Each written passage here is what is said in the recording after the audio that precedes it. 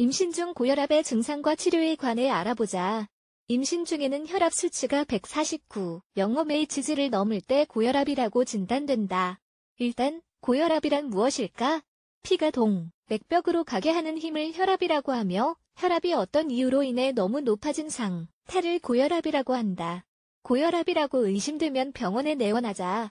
산모와 아이의 건강에 위험이 될 수 있으므로 혈압을 조절해야 한다. 증상을 그냥 넘기지 말고 의사를 찾자. 임신 중 고혈압이란 임신 중 혈압을 조절하는 것이 심각한 문제를 예방하는 최고의 방법이다. 일반적으로 임신 중 고혈압은 원래 고혈압을 앓지 않았던 여성에게서 나타나는데 임신 중반기나 후반기 즈음에 발생한다. 20주 후에 발생하는 사례가 가장 흔하다.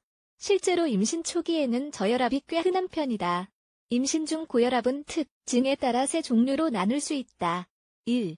임신성 고혈압 이전에는 없던 고혈압이 임신 중에 생기는 것으로 보통 임신 20주 후에 발생한다. 증상이 없는 편이고 출산 후 사라지는 게 보통이다. 그러나 다음과 같은 위험이 있다. 나중에 고혈압이 생길 위험이 증가한다. 조산의 위험이 있다. 태아가 저체중이 될 수 있다. 임신 중독증을 유발할 수 있다. 2. 만성 고혈압 임신 전부터 또는 임신 20주가 되기 전부터 고혈압 증세를 보인 경우이다. 임신성 고혈압과 마찬가지로 임신 중독증을 유발할 수 있다. 3. 임신 중독증 임신 중독증은 갑자기 혈압이 상승하는 질환으로 보통 임신 후기에 발생한다. 간과 신장을 비롯한 장기에 손상을 입힐 수 있다. 또한 산모와 태아의 생명에도 위협을 끼칠 수 있다. 따라서 혈압을 조절하여 상승하지 못하도록 막는 것이 매우 중요하다.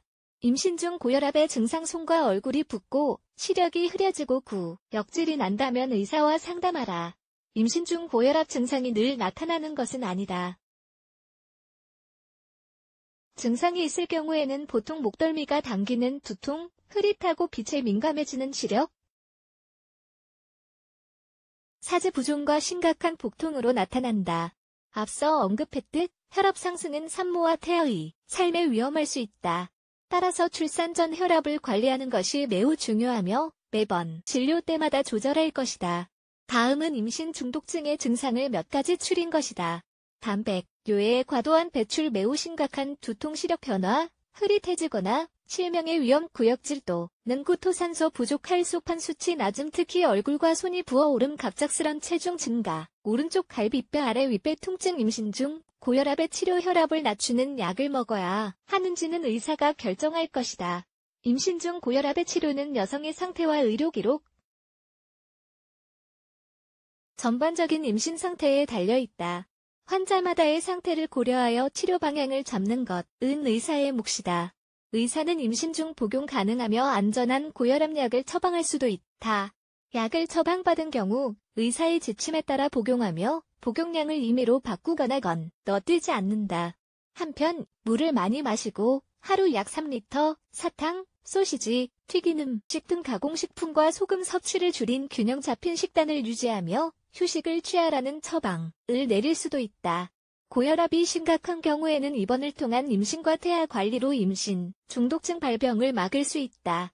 임신 중 혈압 상승을 예방하려면 규칙적인 운동, 걷기, 산모를 위한 요가, 아쿠아짐 등 물 많이 마시기, 커피 마시지 않기, 소금, 섭취 제한하기 등의 습관을 들이기를 권한다. 이와 관련하여 더 궁금한 점이 있다면 다음 진료 때 의사에게 다 물어보자. 당신의 의료 기록과 신체 상태를 바탕으로 올 바른 정보를 줄 수 있는 사람은 의사밖에 없다.